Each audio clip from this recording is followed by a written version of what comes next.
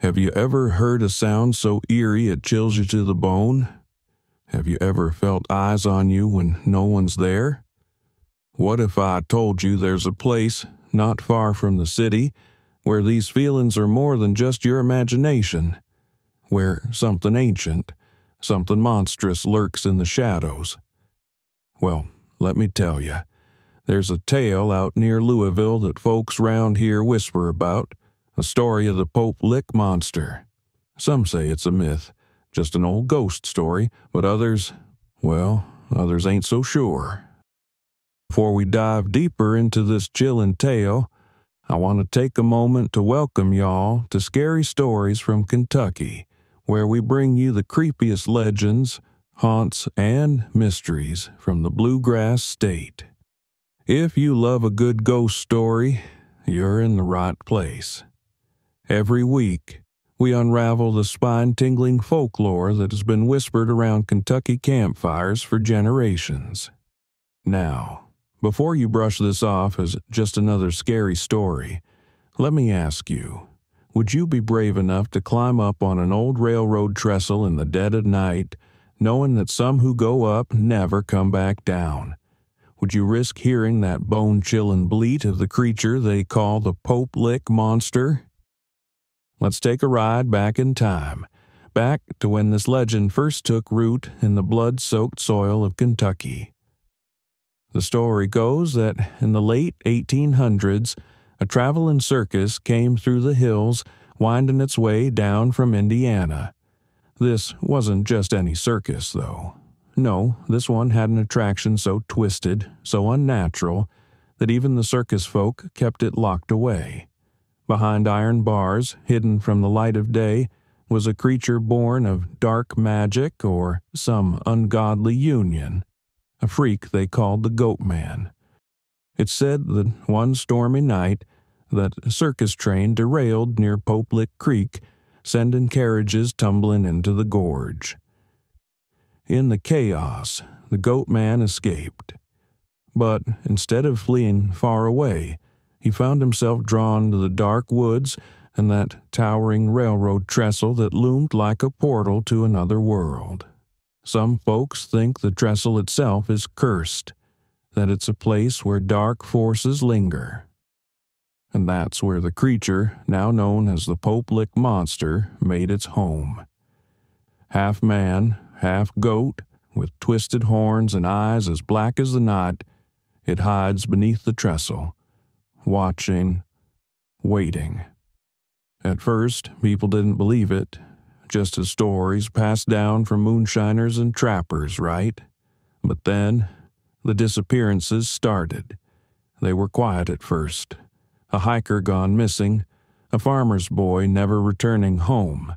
But those who knew the hills, the folks who lived close to that trestle, they started to notice something darker. You see, the Pope Lick monster isn't just lurking there like some wild animal. Oh no, they say it can call to you. It gets inside your head, makes you want to go up to that trestle. Some hear its voice in their dreams, others in their waking hours. It's a low, guttural bleat like a goat's cry, but twisted, unnatural, like it's calling you home. And once it has you, once that sound gets under your skin, there's no resisting. They say the monster waits until you're up there on the tracks, 90 feet above the ground. Then, just as you realize you're trapped, you hear the whistle. It's a freight train, barreling down the line. You freeze, fear gripping you tight. Do you jump? Do you run? Either way, the monster wins.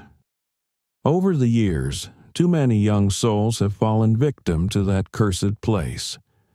Locals know better than to go near it, especially at night. But every so often, some thrill seeker hears the stories and thinks they'll be the one to outsmart the Pope Lick monster. A lot of 'em don't make it back. Now, old Zeke, who's lived by Pope Lick Creek for over 60 years, swears he saw the creature himself. Said he was out hunting one foggy morning when he heard it, the bleating sound coming from the trestle. At first, he thought it was just a wild goat that had wandered too close to the bridge. But then he saw something moving in the fog, something big and quick. It was tall, with legs like a man's but covered in thick, matted fur, and those horns, twisted like the branches of an old oak tree. Zeke didn't wait around to see more. He ran faster than he ever had in his life and he ain't been back since. But Zeke's not the only one. There've been other sightings. People who swear they saw the creature watching from the shadows beneath the trestle or walking along the tracks late at night. Some say it's just a figment of our imaginations, a story born of fear and isolation in these old hills.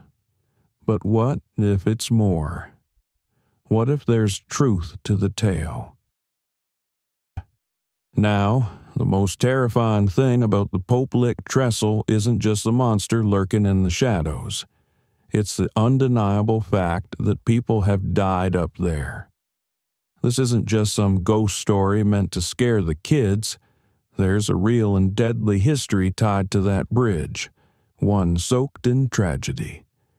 The trestle sits over 90 feet above the ground, and there's no walkway or safe passage.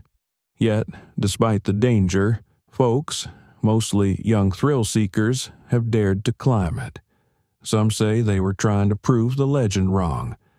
Others may have been lured by the very call the Pope Lick monster itself. Over the years, several lives have been lost. In 1986, a young boy fell to his death while trying to outrun a train on the trestle. More recently, in 2016, Another young woman tragically lost her life when she was struck by an oncoming train while investigating the legend herself. Each year, the stories of tragedy pile up, but the pull of the legend remains strong. Now, some folks believe these deaths are accidents, plain and simple, a result of poor judgment. But the old timers, well, they've got a different theory.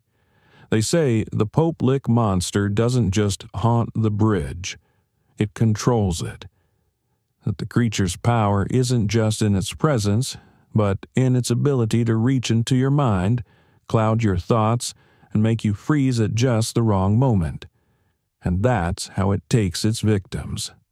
One thing is certain the trestle has claimed lives, and if you're brave or foolish enough to walk up there, you're taking your chances not just with the trains, but with something far more sinister. So, if you ever get the urge to see if the Pope Lick monster is real, remember this. Many who've gone looking for the truth didn't live to tell their tale. So, the next time you find yourself out near Pope Lick Creek, take heed of the warnings. If you hear that low, haunting bleat carried on the wind, don't follow it. Turn back. And whatever you do, don't go up on that trestle. Now, I want to know what do you think? Is a Pope Lick monster just an old Kentucky ghost story? Or could there be something more sinister lurking in the shadows of that railroad bridge? Have you or someone you know ever been out to the trestle? If you have, we'd love to hear about it leave a comment, or share your story with us. And hey, if you enjoy hearing eerie tales like this one, be sure to check out our other stories on the Scary Stories from Kentucky podcast. We've got legends, ghost stories, and hauntings from all over the bluegrass state. Kentucky is full of mysterious and haunted places just waiting to be discovered. But be careful.